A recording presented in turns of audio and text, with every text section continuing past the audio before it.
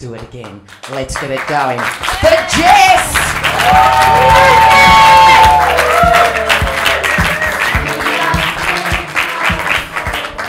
Thanks, Christine. But it's actually Jessica. not Jess, not Jessie, Jessica. Because my dad used to get really upset when anyone abbreviated my name, because turns out he dated a girl called Jess, and she also called him Daddy.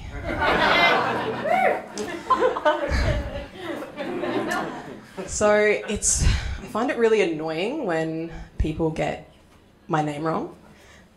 Christine. and it's it's actually a really difficult name. Uh, it's Welsh, uh, but I'm Australian, so people often get it wrong. So instead of Anwyl, they say unwell, or animal, which is technically accurate.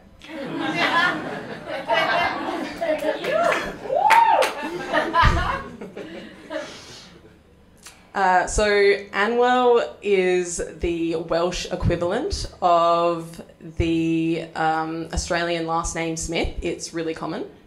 So when I met this Welsh girl, I told her my name. I'm like, it's Anwyl. My, my last name's Anwyl. And uh, went straight over her head. So I spelled it to her. I'm like, it's A N W Y L.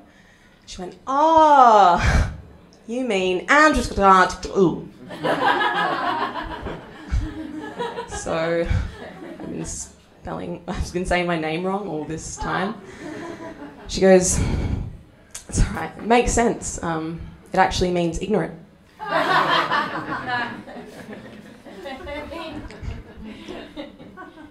what was your name? Stephen.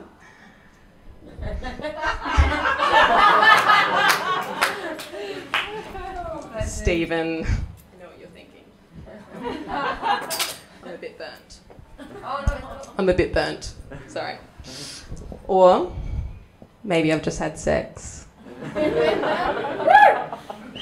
or maybe I'm a bit embarrassed because it's the first time doing stand up. okay, it wasn't the sun, it was the sex. Oh, I'm sorry. now you're embarrassed. Probably because it was uh, our first time too. no,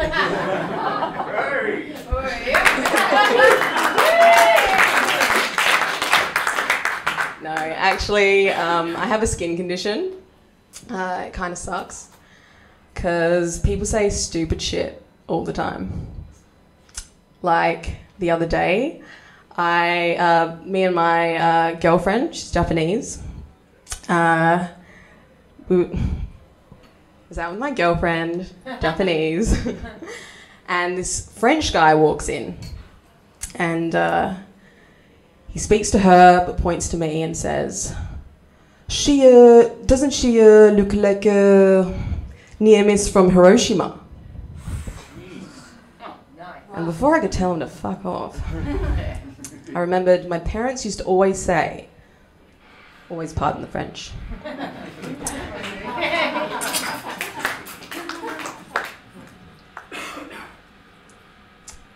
so I've noticed a lot recently that people focus a lot on appearances. In fact, the other day, uh, this girl, before even saying hey, came up to me and said, What happened to your leg?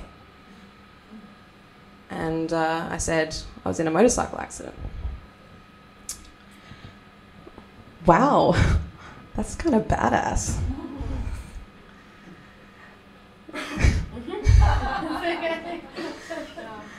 that's kind of badass. Um, when did it happen? Uh, I don't really like talking about it. Oh, come on. I kind of love all that gory stuff. Tell me, like, where did it happen? Asia? Oh, so you're an idiot. See, that's why I don't like telling that story. It's uh, embarrassing. You know, like imagine your first time. Imagine I'm in Asia. It's my first ever motorcycle accident. and I'm stationary, engines off, 27 stitches. it's really embarrassing. so imagine, now imagine a Vietnamese hospital. It's about as good as it sounds.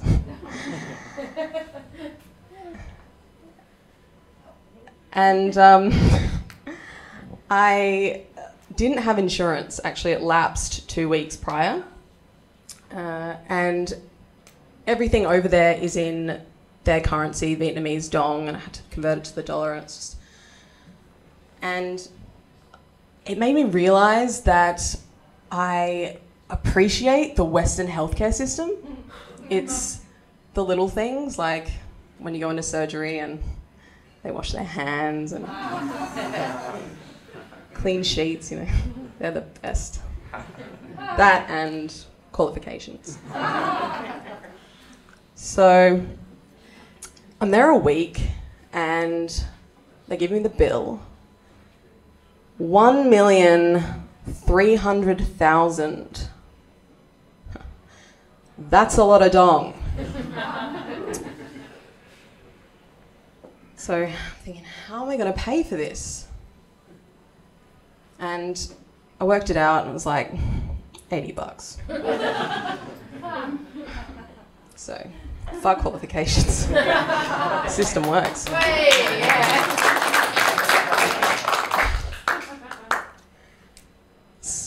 So it wasn't all that bad.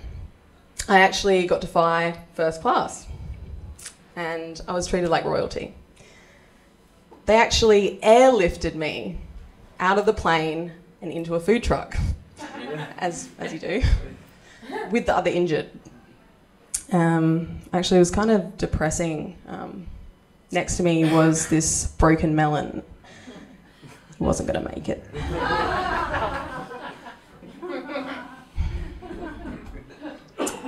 But when we arrived at the terminal, I got wheeled out by this really tall, chiseled, strong Vietnamese dong. I mean, air marshal, air marshal, Vietnamese air marshal.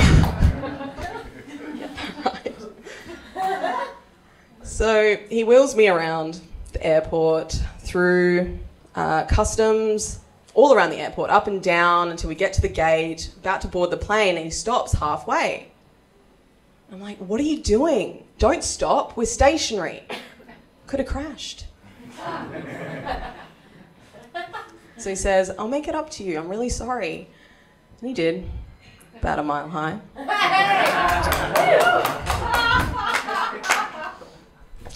Stephen. I think we should see other people. Thank you. I'm Jess and